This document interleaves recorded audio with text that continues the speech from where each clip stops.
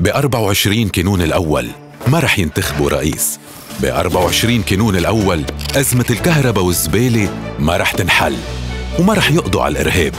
ب 24 كانون الأول طرقات ما رح تتزبط ومشكلة الشرق الأوسط ما رح تنحل.